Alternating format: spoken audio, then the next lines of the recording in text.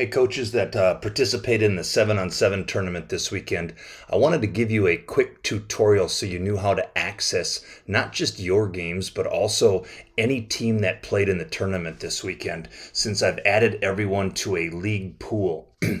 First of all, this is the navigation button in the upper left hand corner. This is where I can access my video, I can access my team. Um, and if I ever wanted to exchange video, I can exchange. Works very similar to what Hudl is. So I'm in the My Games tab, which this green line underneath Games tells me I'm in the Games tab. Um, what I did for uh, St. Lucie West Centennial is I created a folder by clicking the Add button and added a folder.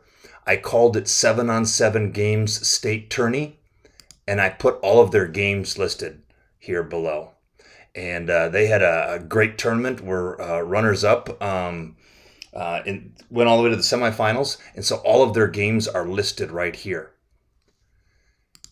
And if you want to access someone else's games and watch other teams, you can click on League Pool and click this down arrow, and you have access to everybody who participated in the tournament this last weekend.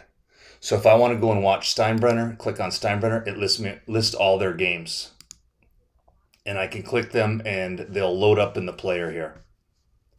So that's how easy it is to access everybody. What we're doing for some states and some associations and some conferences is we're using this league pool and when the coaches fill out the information, they have to put in their offensive type and their defensive type. So you can search on an entire state if you wanted to. Um, whether you're going to play them or not, uh, this statewide league pool would allow you to watch any teams that run the same offense, or maybe it's run the offense that your opponents run, eh, or the defense, and you can search on that. Plus, you're able to search on the name of the school up here and then we also have a messaging tool where you can message coaches. So, a pretty powerful tool. If you've got any questions, uh, feel free to reach out to me. I'm going to put my my phone number and my email address in the email that's being sent out.